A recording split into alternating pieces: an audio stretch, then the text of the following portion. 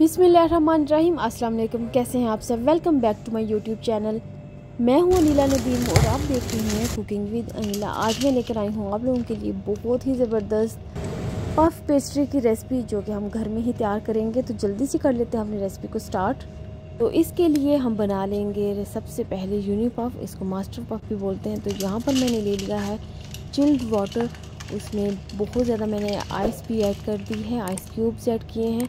और जो मैं इसमें घी ऐड कर रही हूँ, वो 500 ग्राम है। और घी को मैंने बहुत अच्छी तरीके के साथ जो है, वो मेल्ट कर लिया है। गरम घी नहीं होना चाहिए जब हम इसको पानी में ऐड करेंगे। नॉर्मल रूम टेम्परेचर पर घी होना चाहिए, बट वो जमा हुआ नहीं होना चाहिए, लिक्विड फॉर्म में होना चाहिए। तो यहाँ पर अभी हम इसको छोड़ देंगे पाँच से छः घंटे के लिए। तो यहाँ पर आप देख सकते हैं 500 ग्राम घी मैंने यूज़ किया है। तो इसको पाँच से छः घंटे आलमोस्ट हो चुके हैं इसमें रखे हुए। तो अभी हम इसको अच्छी तरह से हाथ की मदद से प्रेस करके इसको निकाल लेंगे यहाँ से। अच्छी तरह से हमें प्रेस करना है, इसमें कोई भी पानी नहीं रहना चाहिए। इसको हाथ की मदद से दबा दबा कर हमें सारा पानी जो है इसके अंदर से निकाल देना है। और ये अच्छी तरह से हम इकट्ठा करके ये तमाम जो बटर यहाँ पर रेडी हुआ है, इसको निकाल लेंगे। या आप किसी भी बेकिंग आइटम में यूज़ कर सकते हैं। बहुत ही ज़बरदस्त ये यूनिपफ यहाँ पर रेडी हुआ है। इसको अभी भी मैं हाथ की मदद से प्रेस कर रही हूँ कि जो भी पानी थोड़ा बहुत रहता है वो अच्छी तरह से निकल जाए।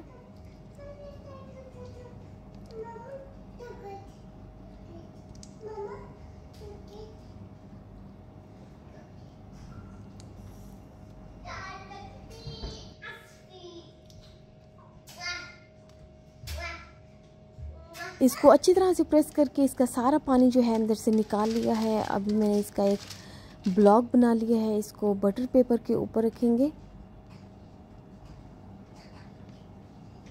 और इसको फोल्ड करके हम थोड़ी देर के लिए फ्रिज में छोड़ देंगे, ताकि अभी हम जो अपना नेक्स्ट स्टेप है वो कर सकें। स्पैचुला की मदद से हम इसको सेट कर देंगे और हल्का सा नीचे भी प्रेस करेंगे, ताकि ये थोड़ा सा फ्लैट हो जाए।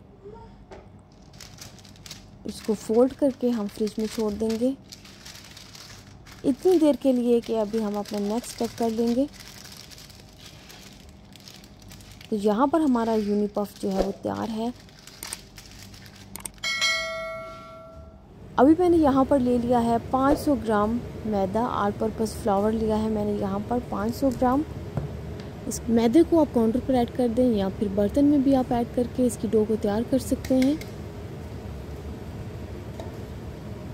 अभी मैं यहाँ पर ऐड कर दूँगी 200 सौ पानी, एक कप मैंने पानी यहाँ पर यूज़ किया है। अगर हमें ज़रूरत होगी तो हम बाद में इसमें और भी ऐड कर सकते हैं। ऑयल ऐड करेंगे one fourth cup. Sugar add कर देंगे टू टीस्पून। सॉल्ट ऐड करेंगे वन टीस्पून। इन तमाम चीज़ों को हम अच्छी तरह से मिक्स कर लेंगे, जब तक कि चीनी डिज़ोल्व नहीं हो जाती। इसको हमने बहुत अच्छी तरीके के साथ मिक्स कर लिया है। पानी जो मैंने यूज़ किया था वो रूम टेम्परेचर का ही था। अभी हम इसको अच्छी तरह से मिक्स कर लेंगे। अगर हमें और पानी की ज़रूरत पड़ेगी तो हम और पानी इसमें ऐड कर लेंगे।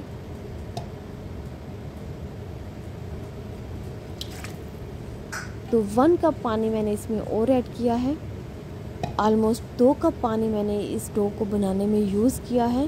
तो इस डो को मैंने अच्छी तरह से मिक्स कर लिया है। तो आप देख सकते हैं, इतना सा पानी इसमें से बचा है। इस डो को हाथ की मदद से हम दो से तीन मिनट के लिए इस तरह से करेंगे ताकि डो जो है वो हमारी अच्छी तरह से रेडी हो जाए।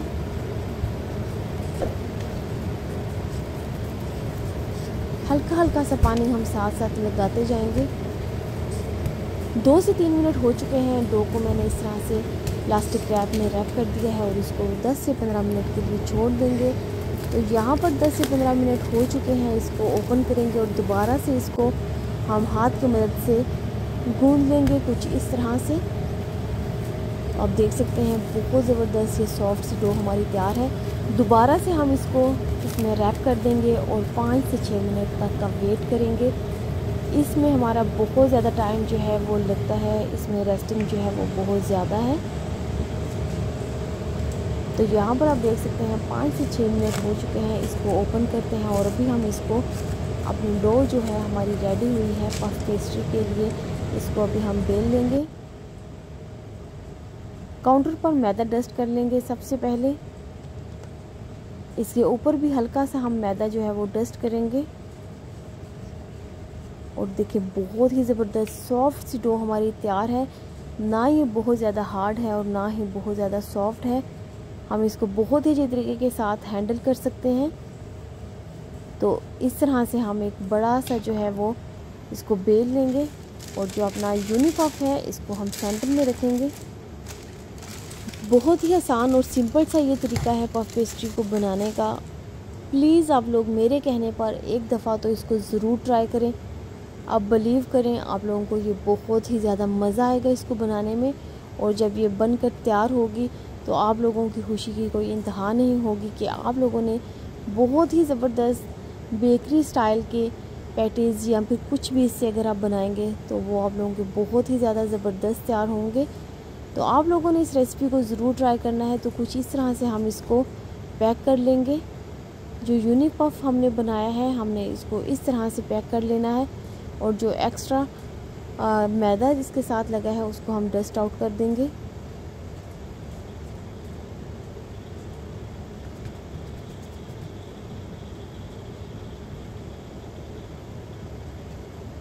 साइड्स हम इसकी इक्वल कर लेंगे।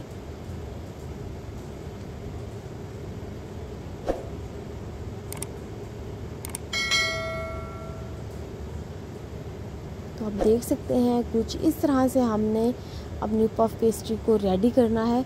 अभी मैं इसको दोबारा से प्लास्टिक रैप में रैप करके फ्रिज में रख दूँगी मैक्सिमम हाफ़ एन आवर के लिए। उससे पहले हम इसको नहीं निकालेंगे, हमने रेफ्रिजरेटर में रखना है, हमने फ्रीज़र में नहीं रखना इसको। जस्ट हमें थर्टी मिनट्स के लिए इसको भी फ्रिज में रख कर वेट करेंगे। मैंने पहले ही बताया है कि इसमें रेस्टिंग काफ़ी ज़्यादा है। अभी हम इसको रखते हैं फ्रिज में और वेट करते हैं। इतनी देर में हम अपना कुछ और कम कर लेंगे।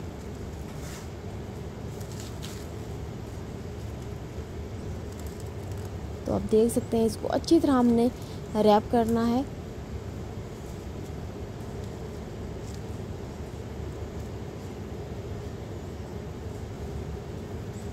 आलमोस्ट एक पूरा दिन मेरा इस रेसिपी पे गया था क्योंकि यूनिपफ बनाने में मुझे छः घंटे चाहिए थे तो एक पूरा दिन जो है इस रेसिपी पे मेरा गया है। तो यहाँ पर मैंने सबसे पहले मैदा डस्ट कर लिया है काउंटर पर। हाफ़ एन आवर हो चुका है। जो पफ पेस्ट्री सेट हो चुकी है, अभी हम इसको रोल करेंगे।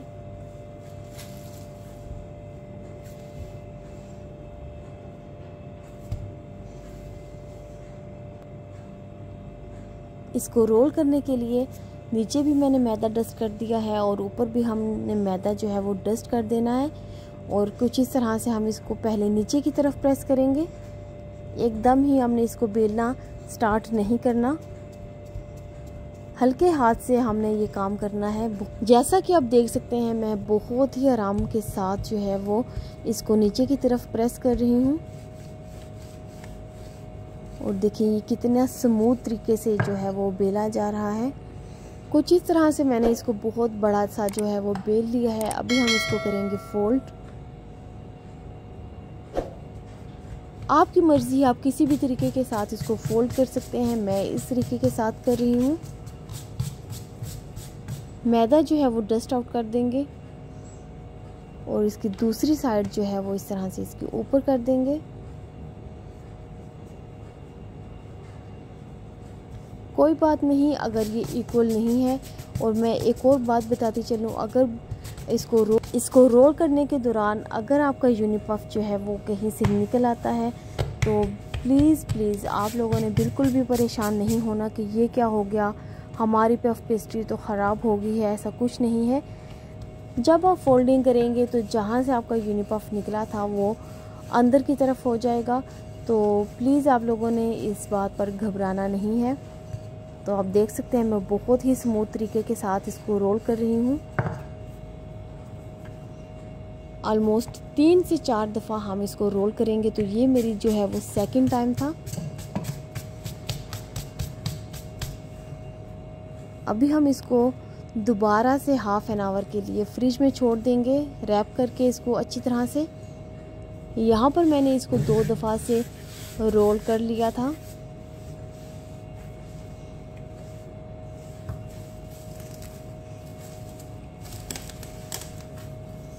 मैं उसी क्लीनिंग रैप के साथ इसको रैप कर रही हूँ। अगर आप चाहें तो आप न्यू भी यूज़ कर सकते हैं। तो यहाँ पर देखिए मैंने इसको बहुत ही अच्छी तरीके के साथ दोबारा से रैप कर दिया है और मैंने इसको एक दो दफ़ा और बेला था और आप देख सकते हैं बहुत ही ज़बरदस्त हमारी पफ पेस्ट्री जो है वो तैयार है। अगर मैं आपको एक एक स्टेप इसका बताती तो वो वीडियो जो है वो बहुत ज़्यादा लॉन्ग हो जाती। तो आप इसकी लेयर्स चेक कर सकते हैं। बहुत ही ज़बरदस्त ये पफ पेस्ट्री हमारी तैयार हुई थी।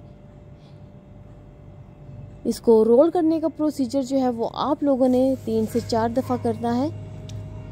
हाफ़ जो है वो मैं फ्रिज में छोड़ दूँगी। अगर आप लोगों ने इसको अभी यूज़ नहीं करना तो आप इसको फ्रीज़र में भी छोड़ सकते हैं दो से तीन मंथ के लिए। तो यहाँ तो यहाँ पर आप देख सकते हैं जो हाफ़ मैंने पफ पेस्ट्री को बेला था तो इतना हमने इसको पतला बेलना है। बहुत मोटा हमने नहीं बेलना। तो यहाँ पर मैंने बस फटाफट से इसको कट किया था और मैंने फिलिंग भी इसकी तैयार कर ली थी, जिसकी रेसिपी मैं ऑलरेडी आप लोगों के साथ शेयर कर चुकी हूँ। तो मैंने कुछ भी डिज़ाइनिंग इतनी खास नहीं की थी, बस मैंने फटाफट से जो है वो और इसकी फिलिंग इसमें ऐड की और इसको इस तरह से सिंपल रोल किया। और फोक की मदद से हम इसके साइड्स जो हैं वो प्रेस कर देंगे अच्छी तरह से। क्योंकि इस रेसिपी पे मेरा पूरा दिन गया था मैं बहुत ही ज़्यादा लास्ट पर थक चुकी थी तो मैंने बस फटाफट से इसको बेक किया। ऊपर मैंने कुछ तिल ऐड कर दिए थे तो ये आप देख सकते हैं, बहुत ही ज़बरदस्त हमारी पफ पेस्ट्री जो है वो बन के तैयार हुई थी। आप लोगों ने इस रेसिपी को ज़रूर ट्राई करना है और मुझे कमेंट सेक्शन में बताना है कि आप लोगों को ये कैसी लगी है।